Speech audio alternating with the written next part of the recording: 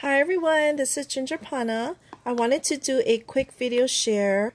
Um, it is very late on Wednesday night. I have to meet Linda tomorrow and I wanted to do this quick video share. Um, I've been working crazy, crazy hours at work and I am exhausted. And so I'm surprised I even finished this swap. Um, so let me go ahead and start sharing it with you because I need to get up really early tomorrow morning. So we um, maybe backtrack a little. If you watch us on Instagram, um, you'll know that we got together recently. Linda, who is lfundoo here on YouTube, and Jenny, who is Crafty Hilo Girl on YouTube we got together. Jenny's from the Big Island. Linda and I are live on the same island on Oahu. And um, I think a few weeks ago we got together. Jenny was in town, and I got to meet her for the first time. I've been a really great um, fan of hers, and I've been watching her and Linda for a long time. And I'm so glad and blessed that I have them in my life, and we can enjoy crafting together. And so we had decided to do an embellishment swap embellishment box swap. And so um, I ordered these boxes from the Dollar Tree uh, maybe about a little bit over a month ago and I ordered a whole case of it. I was so desperate to get them. We don't have Dollar Tree in Hawaii and so I ordered it. Um, each box, as you know, is a dollar. So I bought a case of 24 but the shipping was more than what the boxes were. Shipping was like almost $40, I think. But that's okay. I shared all the boxes with Linda and Jenny, and we decided to do a swap. Okay, so here goes. I love this paper, and I got this from the most recent I think it's kind of new. I don't know if it's the same line. I think it is. But it's the Prima paper pad, rose quartz. My friend Mari, who is um, on Instagram as Meow Eco Crafts, she called me and a local crafter was selling um, Prima paper. And so I rushed down and I bought myself a whole bunch of paper pads and loose paper. So as you can see, this paper pad was selling for $10. So I, I used a lot of paper from this collection this might be a different line, a newer one. I'm not sure because I kind of cut up all the paper already. Okay, um, so here it goes. I left this kind of plain. I just couldn't bring myself to cover all this beautiful shabby paper with these butterflies, this gold foiling. Um, so I cut it out. I inked the edges. I adhered it to the top of the box. I put kind of a matching um, wash, uh, washi tape here that's foiled. So it goes all the way around the box. And in the middle, if you know these boxes, there's a hump. And so I didn't know what to do with it. I wanted to leave it plain so the girls can maybe reuse the box and decorate it however they want to. Um, if I have more time to add things on it, I will, and they'll share it on their video. Here's an elastic roll. It's just a ribbon roll that I found on one of my mainland trips. This is a rosette. I made it from the paper pad. And this is a bottle cap. And a I punched out a one inch circle from the paper pad and I epoxy stickered it into the bottle cap. So it's still kind of drying. I used E6000 to adhere it because it's metal. I didn't flatten my bottle caps. I should have, but I forgot to. so, anyways, this is how the top of the boxes look like. And so they're both identical. As you can see, the other one is like this. Okay, so let's open it up. And I did a previous embellishment box swap on Tina, who's Tell Him Thank You. I already loaded it. I had to load it so that I could make this video. And um, some of the things are similar, but yet this one is a little bit bigger. The box has more, I think there's a little bit more compartments or roomier compartments. So I was able to make more things. Um, this is kind of nice when you open the box. It's a two-sided paper. So here is the inside. And here are the compartments. So I made more rosettes. I left these plain ladies so you guys can put things on it however you want to. I made a crepe paper rosette and I forgot who I learned these this one from but you sew it you, you fold the crepe paper in half you sew the edges you pull it together and it makes this nice um, rosette. And you some of the ladies glitter it on the edges. I didn't do that. These butterflies I also made it's made from a square and a circle uh, circle shape and you pleat it and it rolls up into a butterfly if I can find the tutorial I followed, it was a few years ago, I will post it down below. So I just glued some pearls in the middle. Okay, so this is in the first one. In this middle one, there is a local crafter. Her name is Emmy. Hi, Emmy. And she is by Mint Clover on Instagram. And so I go to her booth every month and I love, love, love her creations. They're like felties, and she also makes clay pieces. So this is just a set, kind of looks shabby. I kind of went with more of a shabby look, um, spring shabby look. So this is um, clay pieces that they could use to embellish other projects. I also included a set of clips that Emmy made. And look at that panda, he's so cute. Okay.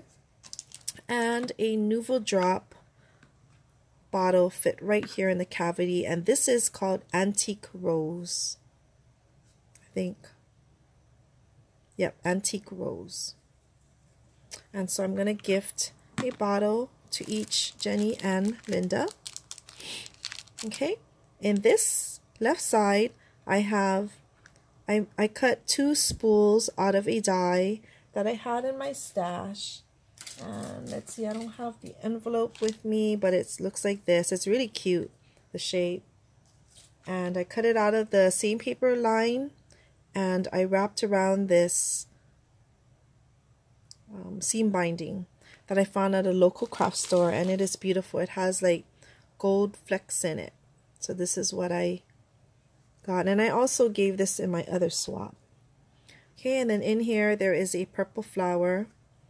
And I'm thinking I got this on a, um, oh, my brain is so tired I can't remember anything. But I got this on a Facebook group.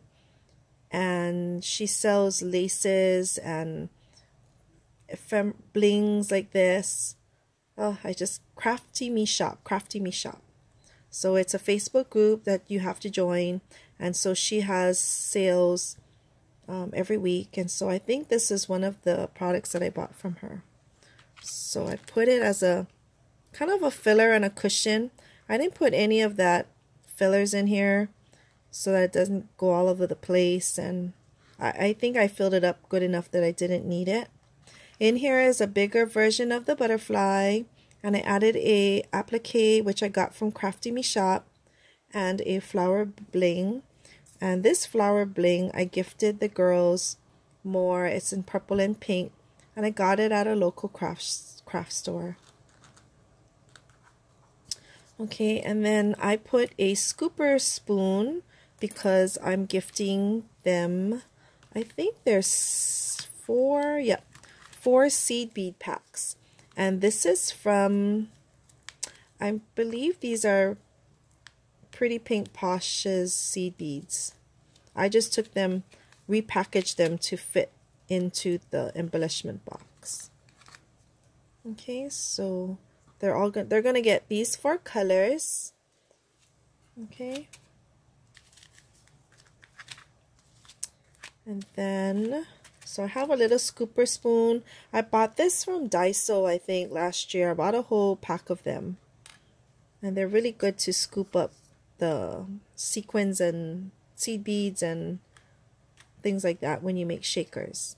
In this one, I made a stacked letter embellishment. And so I used my envelope, mini envelope punch board which looks like this. And I cut a lot of paper out from the paper line, the same paper line. And I put it together. I inked the edges. The first layer, there's three envelopes. The first one has um, pink cheesecloth. The second, between the first and second, there is some tulle. And then I wrap the whole thing with eyelash trim. And in the front, I use the same applique and bling that I did for the butterfly. Okay, and then um, this one, I also have a piece of cardboard in each one of the envelopes to make it stiffer. And so Linda and Jenny, you can use this as embellishments, put your own glue or foam in the back to put it on whatever you want to. And underneath this, these two envelopes, I put a piece of ribbon, which I got off of a gift that I, a friend gave me. And so I just gathered it all up and I put it in the opening and it kind of helped with the um, keeping the envelopes from not falling into the square. Okay, so it kind of propped it up a little. In this one, I made some tassels. So using, I think the same paper line and another Prima line, I made, I cut paper, I cut all the strips. There's tutorials all on YouTube on how to make these paper tassels. I covered it with some gold washi. I put some um, beads here and I made a little um, dangle out of it. Okay. So I have, they're going to get three small ones and two big ones. Okay, so these are the dangles that they'll get. And under here, I just put another crepe paper rosette. Okay, so they're all plain. You would have to um, use it and embellish, embellish it however you want to. And so the tassels just go in here. Okay. And then up here, right here, is a bigger slot. So I put all kinds of blings and embellishments. So this one has the flowers that I've been using. This has some butterflies.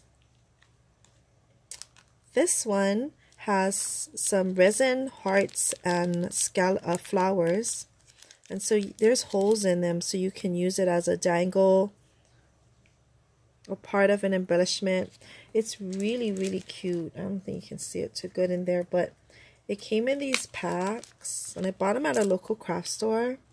But see, they're all like swirly with pink and whites, and they're hearts, and there is a hole in the middle.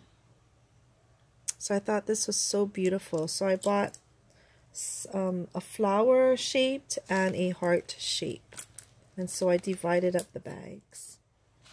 Okay, this is some resin roses that I got, some cabochons. And they came in a pack like this, assorted colors. So I broke them all up. And this one is mini tassels. Look how cute these tassels are. So they're little, like stunted tassels, and they came in a pack like this. Okay, and then here are the butterflies that I bought. And here are more um, butterflies that I had made. I just didn't put them in here. They didn't fit. They were just a little bit too big. Okay. So these will also be in the box.